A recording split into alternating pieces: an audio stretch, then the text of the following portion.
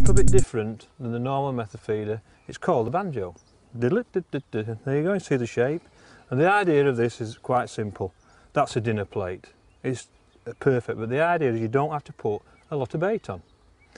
And all you do, four inch hook lengths the same, you put the bait in the middle, you get a few pellets, and you put them on, and you can press it. I just noticed you pressing it down there. Will it come with a mould? It will come with a mould, yeah, Oh, as, as, uh, as it will. But that, you can reduce that. The, the smallest size are a 10p piece, and they come in two sizes.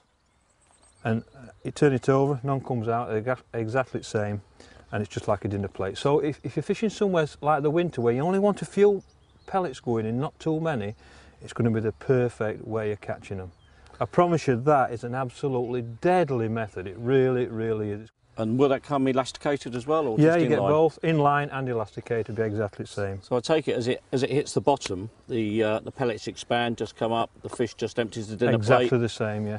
But for me, I'm, I could promise you how many fish this just catching. that I just look at it as a dinner plate, and I think that's going to be, you know, like the new way of catching Awesome. fish. You're going got to really catch do. me a fish on it. I might even catch you a fish. It's exactly the same. Cast, break, Plop.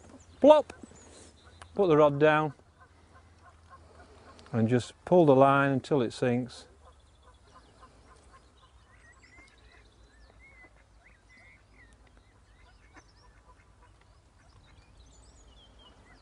And put it on.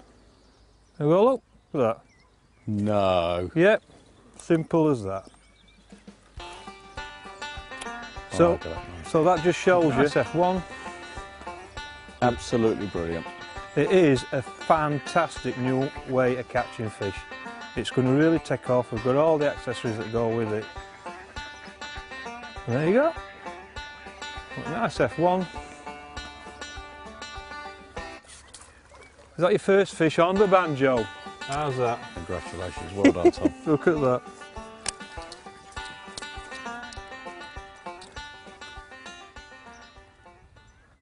You've got the method feeder, you've got the pellet feeder and the new banjo feeder. If you get it right, this is what you can catch.